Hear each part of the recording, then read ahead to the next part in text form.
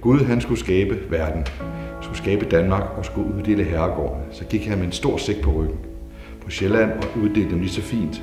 Så kom han til Fyn, så gik der hul på sækken, og da han kom til Jylland, var der ikke nogen tilbage. Derfor er der mange herregårde på Fyn.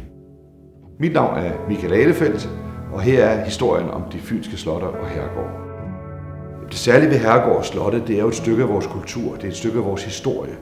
Og det har altid været, været meget markant. Det har fyldt meget i landskabet, ligesom vores kirker for den sags skyld. Så det var en kulturinstitution, der fyldte rigtig meget i landet. Så rigtig mange har en historie inde i herregården. Og så tror jeg, vi er alle stolte af det. Og så er der noget eventyr over det. Det unikke ved herregård er jo, at de er jo ikke bare bygget på samme tid. De er jo bygget over en enorm lang periode, hvor Tranekær er, er rigtig, rigtig gammelt, og Egeskov er jo 460 år gammelt, og Sandrumgård er små 200 år gammelt. Så, så vi har sådan et billede af historie gennem tiden, og, og hvordan var det, da Egeskov og Tranekær blev bygget. Der var det øh, der var der ufredstider. Man byggede det for at undgå bøndeoprør og svenskerne og tyskerne, der kom for tæt på. Da man byggede sig nogle gård, jamen så byggede man det i romantikkens navn. Det skulle være praktisk, og det skulle være godt.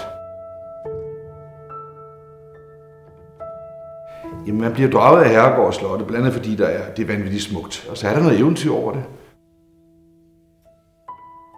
Selvom jeg har boet her på Egeskov i 27 år, så er der stadig eventyr hver eneste morgen, jeg står op og kigger ud af vinduet. Og føler mig enormt privilegeret. Og det er, den, det er det privilegerethed, som vi kan dele med alle de mange gæster, der kommer på Fyn.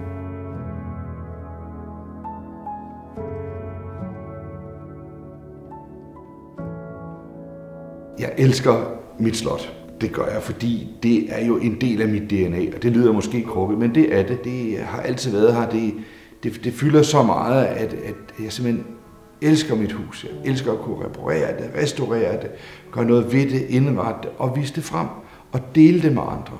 Og det er det, som heldigvis man gør på rigtig mange herregårde i, det, herregård i Danmark. Man deler det, og det er en rigtig god ting.